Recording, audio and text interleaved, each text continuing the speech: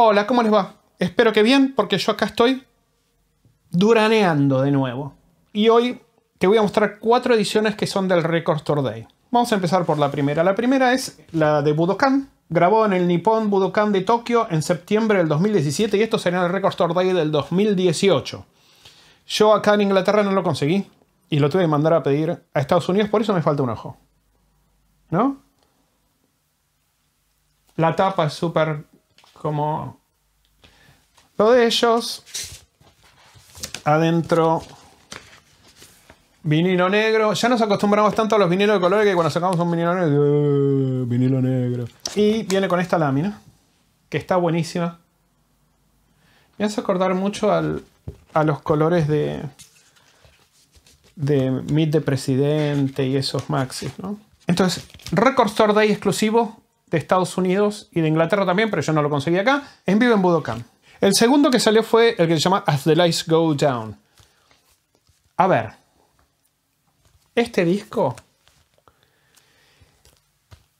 no es bueno.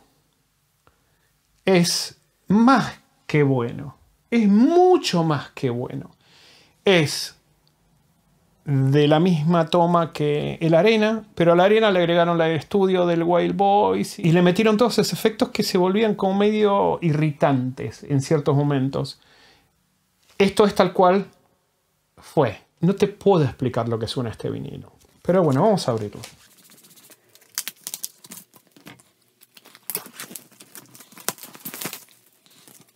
Tiene como relieve todo el diseño. ¡Qué bueno!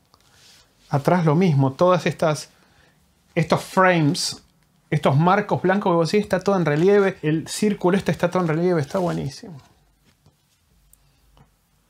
En todo su esplendor, señoras y señores. Qué bárbaro. Si me preguntarían, te doy un día para volver al pasado a un recital, quiero ir a ver la gira de arena. Sobre interno,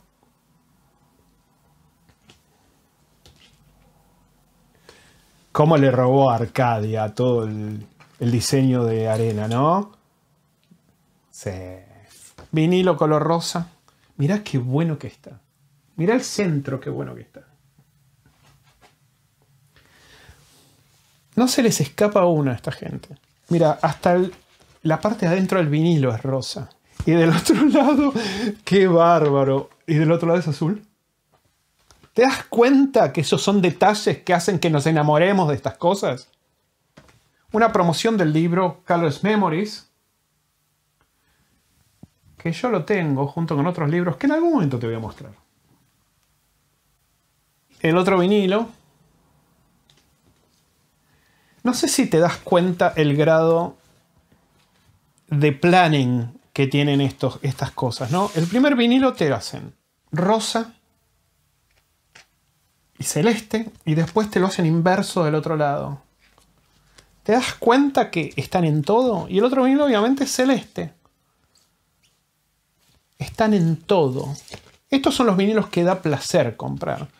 Porque todo está bueno. Está bueno el material, está bueno la tapa. Entonces vos decís, yo he gastado X cantidad de dinero en este disco, pero lo vale contra otras cosas que vos decís, bueno, lo compré por coleccionar, porque lo tenía que tener, y te sentís como que lo pagaste mucho más de lo que valía. Bueno, el tracklisting... Originalmente dijeron que la arena era en vivo alrededor del mundo, cuando en realidad no era en vivo alrededor del mundo. Esto es un recital que es en Oakland, Coliseum, en el 84 y el, el recital entero. Thanksgiving Live, a mí me encanta Warren Cucurulo. Me parece que le dio a Duran Duran lo que no tenía hacía mucho tiempo, cuando hubo esas idas y venidas. En este concierto específicamente, o en esta gira, no está ni John Taylor, ni Roger Taylor, ni Andy Taylor. ¿Sabes cómo suena este recital? Y hubo un montón de gente en los foros de Duran Duran que decía, oh, es un bootleg, es un bootleg, no es oficial. ¿Qué interesa de dónde viene? Zapallo. Te juro diciendo, no, esto es un bootleg, es un bootleg. Entonces, como te decía, las versiones de las canciones. Es, una maravilla, es una maravilla. ¿Viste cuando vos ves un recital de los Pet Boys o de Kylie Minogue o de Madonna que reinventan las versiones de las canciones? A veces bien, a veces mal, da lo mismo, las reinventan.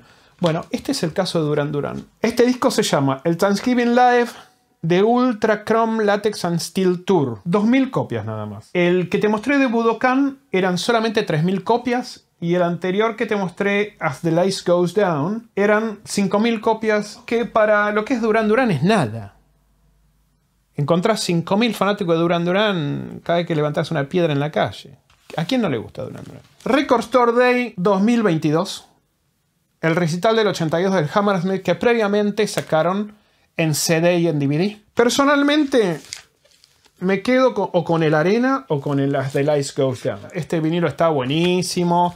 La edición está buenísima. Me quedo con las otras. Si tengo que elegir. Bueno, la tapa está en gatefold.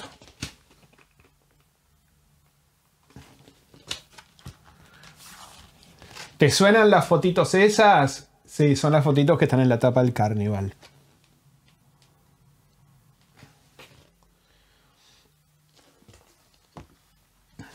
Y el vinilo es... No sé si llegas a ver. El vinilo no es sólido. Es como que tuviera como difuminado. A ver si te lo puedo mostrar para que lo veas. Sí, ahí lo ves. Está buenísimo el efecto que tiene. Y suena lindo. Suena lindo. No suena tan bien como los otros, pero suena lindo. Y el vinilo número 2.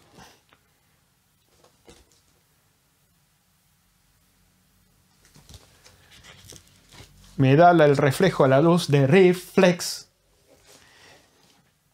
Bueno, es lo mismo. 4.500 copias.